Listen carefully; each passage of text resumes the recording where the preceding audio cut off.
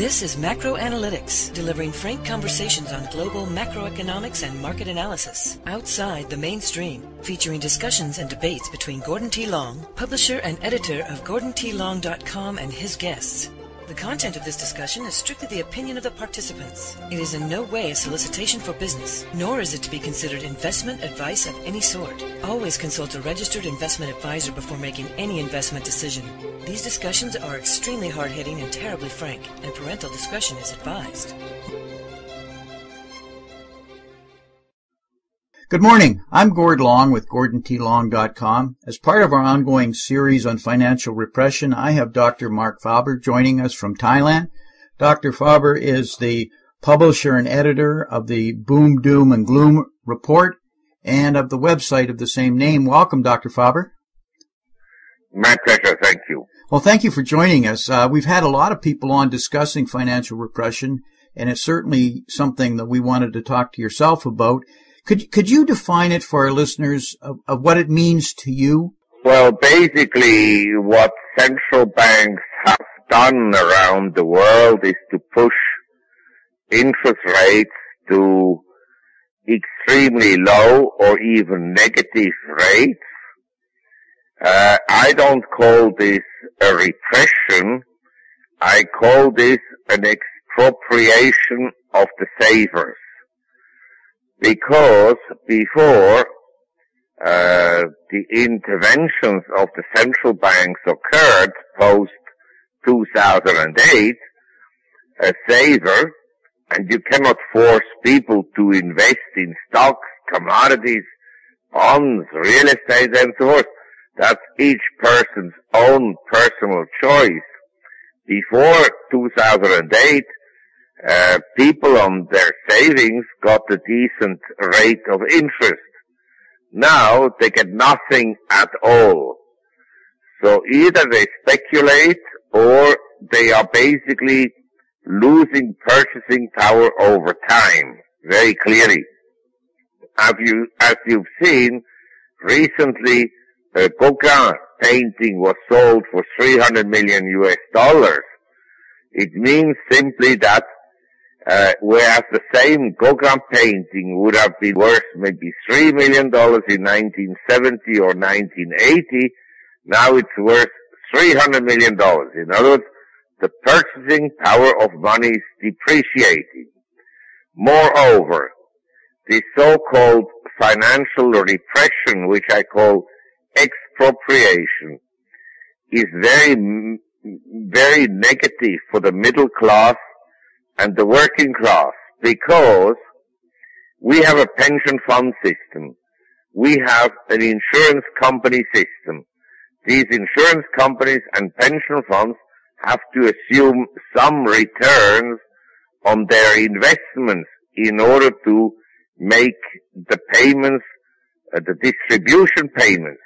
Now with zero interest rates or extremely low interest rates on government bonds, these pension funds and insurance companies will either have to increase rates substantially, and I repeat substantially, or they will have to diminish the payments they make to pensioners and life insurers. Where does this lead? Well, it won't end well. What it led to is a universal, huge asset bubble in stocks, in real estate, in commodities, in collectibles, in art, and so forth. Now, the way inflation works, the same way deflation works. Inflation, the problem is that not all prices go up at the same time, and deflation, not all prices decline at the same time. So we had the collapse of the Nasdaq after 2000, March 2000, and lots of people lost their shirts because they were invested in Nasdaq stocks. Then the Fed created the housing bubble, and when it collapsed after 2007, it had a devastating impact on numerous, on, on a very large number of households who lost their homes. Then in 2008, we had a commodities bubble with oil going to $147. And now you know where oil is trading at. It's at a third of what it was at that time, basically.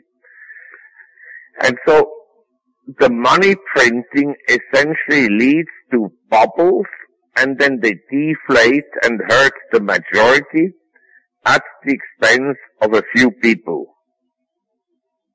And this is not going to help the economy in the long run, period.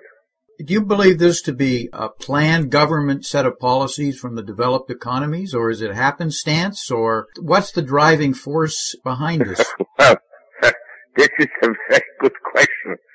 I don't think that governments are smart enough to think this scheme out. But I believe the professors and academics who never worked a day in their lives in the private sector at central banks, they think that by having artificially low interest rates, you kind of solve problems when they actually aggravate the problems. That's what I think is happening. I don't think Obama has a clue about what is going, uh, what is happening, but the central bankers, they believe that artificially low interest rates will solve all the world's problems. Well, we're watching negative nominal rates now appearing, certainly in, in multiple forms in the in the EU. Yes, absolutely. Um, this would suggest that something is seriously wrong. How does a pension plan survive in their business model in such an environment? I, I also ask myself, that's why I said, the pension funds and the insurance industry is in deep trouble. They're basically forced to speculate in something. And that speculation will end very badly. Marc, what should investors, the average person, be doing here? And I'm not looking for investment advice, but more direction to somehow protect themselves from this problem. I tell you, I'm an economist and a strategist and an investor. The answer to that question is simply I do not know. But people expect me to know. So I tell you what I would do is in absence of knowing how precisely the end game will be played, we should invest in a diversified portfolio of different assets. Some in real estate, some in equities, some in cash and bonds, and some in precious metals. What's your views on precious metals? Personally, I think that we had a, a convergence of negative sentiment, of negative uh, fundamental discussion among economists and strategists uh, over the last six months that uh, have led to, in my opinion, uh, an important low in gold. Uh, I think that gold, say, compared to the Dow Jones or the S&P, since September 2011, it has grossly underperformed asset markets such as uh, bonds and stocks. And given the, I believe the central banks will continue to print money. I don't believe in a currency war. I believe that one central bank after another passes on the baton. So first the US prints money, the Fed, then the Bank of England, then the Bank of Japan, then other central banks, and so forth and so on. And so it goes in a roundabout. In my opinion, given the strength of the US dollar, and given the fact that the US economy at the present time is not strengthening, but weakening, I believe the Fed will actually uh, implement at some point another round of QE. And under these circumstances, I think for an investor not to own some gold is almost, or gold, silver, platinum, palladium, uh, not to own these precious metals is almost irresponsible. I had talked to a lot of business leaders here in, in the United States. They shake their head because they'll tell me that, that they know 70,000 uh, small businesses have shut up first a net amount in the last six years and from a Gallup poll they're looking at and they're saying that passes their common sense test. That's what they see. But then they see the market is going up. They see the U.S. dollar strengthening, which makes their problems even larger. It makes no sense to them. What should they be told? They should be told that when the, when a central bank prints money, nothing really makes sense. They would agree fully with you there. That's their problem. Nothing makes sense. And it holds, then therefore it, they hold back on their investments. Money printing leads to inflation in asset markets at some times. At other times, like in the 70s, it led to consumer price inflation we, we're in a different world. We have globalization and so forth. And so we have a huge uh, supply of labor in the world, a huge supply of goods, not from the US, but from emerging economies that flood into developed economies and, the, and keep price increases relatively modest. But I suppose you also have an insurance for your house, for your health, for your life, and so forth and so on. You should know by how much the insurance premiums have gone up. And if you have children, you should know by how much school fees have gone up. And you should also know by how much fees to the government have gone up. Fines, uh, toll roads, uh, taxes, and so forth and so on. So all I want to say is basically inflation and deflation is very complex, but money printing has never ended well in history. It can postpone the problems, but it will make the end result even worse than had no money been printed. Are there any safe havens in the world that you've seen where, uh, when I say at least relatively safe to be and to be investing? Or is this yeah. going to swamp everybody? Well, basically, since 2010, 2011, emerging markets have grossly underperformed the U.S. And so I don't think they'll go up a lot. But if you take a 10 year investment horizon, I think there's better value in emerging economies than in the U.S. I also think in Europe there are better values among stocks than in the U.S. And as I told you, I think physical gold, silver, platinum, palladium is okay. But don't store it in the U.S. You have to store it outside the U.S. Many people, when it comes down to gold, are concerned about some level of whether or not confiscation, but excessive taxes. And so therefore they're very concerned about what that leads to. Any comments on that? I'm convinced when everything fails, uh, the central bankers will blame their own failures on people who hold gold. And then the movement will come up, well, take it, let's take it well, away. Uh, the same way, when everything fails, uh, the central banks and the governments will say, well, uh, to the people, to the ordinary people, to the middle class. You know why you're not doing well economically? You know why your real wages are not going up? It is because of these few rich people, the 0.01 or 0.001%. Let's tax them. Let's impose on them a wealth tax. This is the way I see that the end game will be played. And so that's why I'm telling you, you have to have your goals uh, outside the U.S.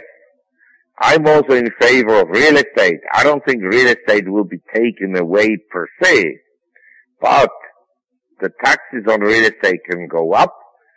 And I would advise anyone today, irrespective whether they, where they live, you have to diversify geographically. You have to have some assets in Australia maybe, in Asia, maybe in Europe, maybe in Canada, but don't hold it under a custodian in the US. You have to diversify your custody of your assets.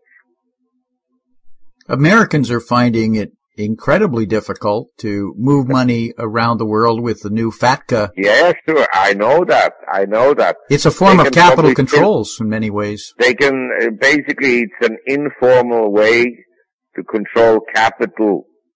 Uh, they can probably still buy real estate overseas without too much trouble. But even that I am not familiar. I'm not a tax expert. I'm not a U.S. citizen. All I know is uh, the U.S. government is imposing more and more laws and regulation on U.S. citizens to hold assets overseas. Are you seeing that more common in other countries, developed countries with large debts occurring also? Uh, less so, less so, but it may also happen in future. The U.S. government in simple terms, is a mafia. so if it was a mafia, it would suggest there's some kind of planning and control at least, wouldn't it? Right? As opposed to the Keystone Cops running this, uh, this show? well, I don't want to go further into it since I'm still traveling occasionally to the U.S. Understand. What message would you leave with our listeners? Anyone who tells you the market will go there or up or down or sideways and so forth, and that interest rates will go up or go down or the gold will go up or go down.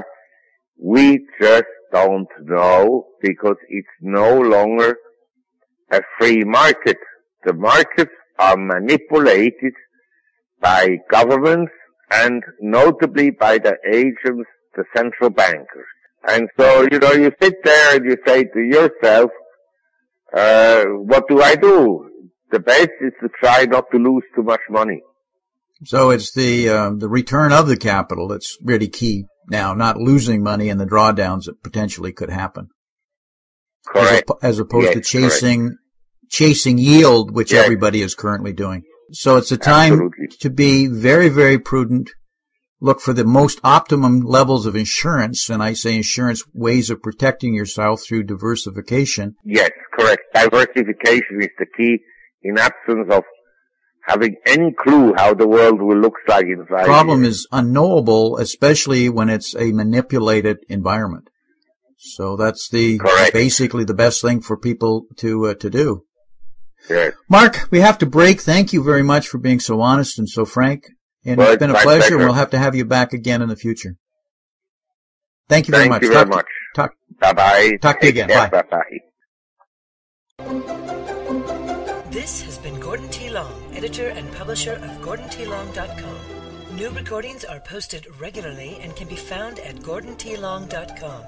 New show notifications are available through RSS feed iTunes, and other social networking venues at GordonTLong.com.